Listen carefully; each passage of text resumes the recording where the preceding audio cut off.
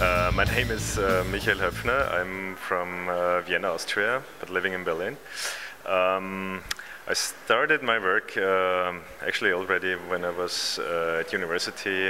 Um, I was pretty much interested in, in, in, just in hiking, in walking, doing long, long walks. Um, first across Europe, uh, and then on a on a travel to India, northern India, uh, I got fascinated by this uh, culture in the northern part of India, in the Himalayas, and by the landscape especially.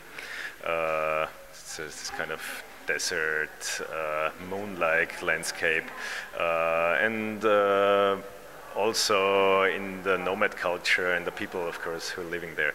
Uh, so, and in the last 10 years, um, uh, I, so after my studies actually, uh, I really started to travel like long term between three and six months every year.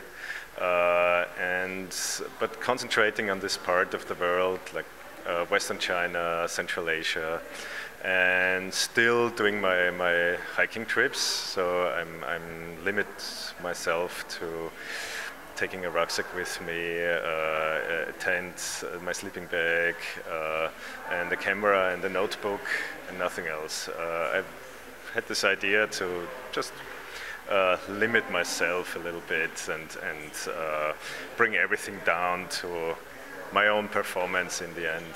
And especially leaving this world here and uh, uh, live a, a, very simple life in the end.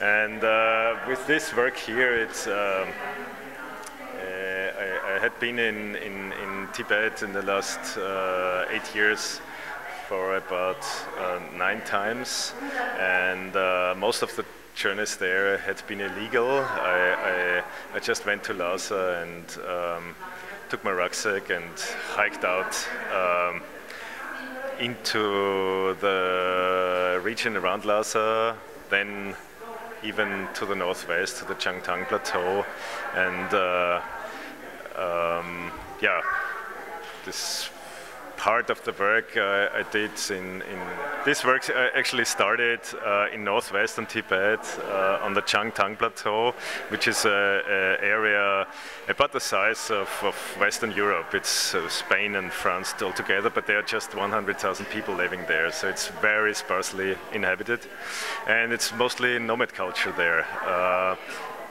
Uh, I thought. I came there after crossing the Trans-Himalaya, and, and, then I realized, okay, the, this uh, just nomad culture and this desire, my desire of uninhabited nature, and uh, is, it's, it's just this kind of Western desire. Uh, the reality was that there was uh, a big construction already going on by Chinese, uh, and uh, so my whole concept of going out into nature actually, uh, I was confronted with uh, um, uh, mining projects and new kind of start-up cities. Um, and so my, my work shifted a little bit from this point that it's not, it was not just about my uh, being there, but uh, in confrontation actually, what was uh, going on there. And so this work actually is about uh, the, the rituals of the people there in contrast to modernization and uh, everything else.